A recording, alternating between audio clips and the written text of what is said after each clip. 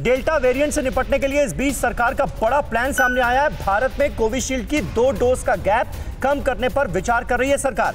दो डोज के गैप को 16 से घटाकर 8 हफ़्ते किया जा सकता है। यह सोर्सेस के हवाले से बड़ी खबर सामने आ रही है। डेल्टा वेरिएंट के तेज़ी से संक्रमण पर नियंत्रण के लिए लिया जा सकता है। यह फैसला दो डोज के गैप को 16 से घटाकर वापस आठ हफ़्ते पर लाया जा सकता है।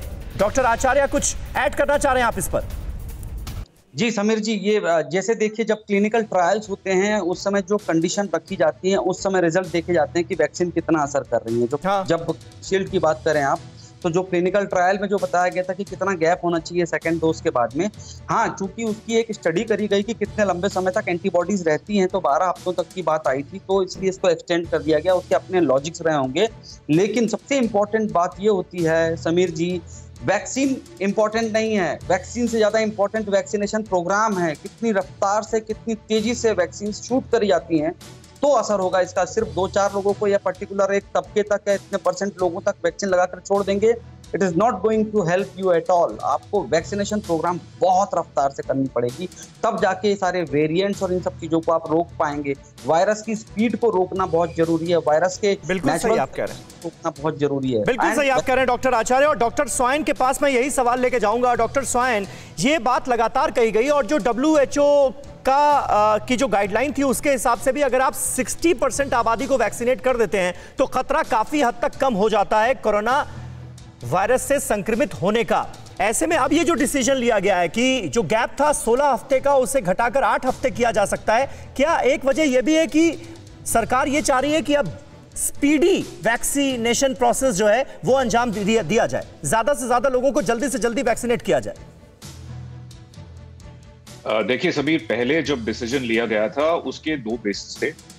एक तो हमारे पास ज़्यादा वैक्सीन थे नहीं और ये सोचा जाता था कि कम से कम एक डोज ज़्यादा पॉपुलेशन को मिल जाए हम्म। जिस तरह यूके में किया गया था और ये यूके के डेटा पे ही निर्धारित था हम्म। और अब यूके से ही डेटा आया है कि एक डोज से 33 परसेंट प्रोटेक्शन मिलती है डेल्टा वेरिएंट में और दो डोज से 60 से 70 परसेंट प्रतिशत प्रोटेक्शन मिलती है और 80 परसेंट से ऊपर प्रोटेक्शन मिलती है अस्पताल में भर्ती होने के लिए। तो सिवियर। डिज़ीज़ से प्रोटेक्शन काफ़ी ज़्यादा है। पब्लिक हेल्थ इंग्लैंड का ये भी डेटा है कि डेल्टा वेरिएंट में 92 परसेंट प्रोटेक्शन मिलती है अगर दो डोज लगे हों कि आप अस्पताल में भर्ती नहीं होंगे यानी आपको सिवियर कोविड नहीं होगा। तो इसी बेसिस पे दोनों डोजेस का गैप अब कम करना चाहिए।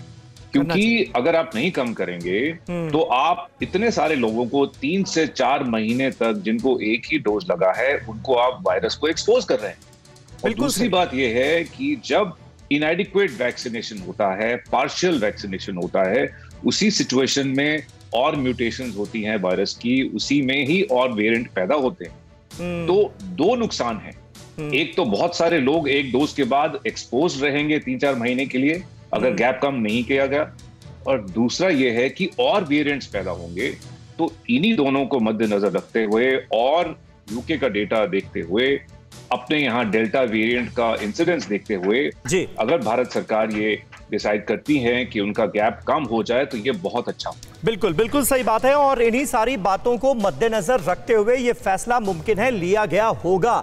अड़ी सोमवार से शुक्रवार शाम छह बजे। सिर्फ़ टीवी नाइन भारतवर्ष पर।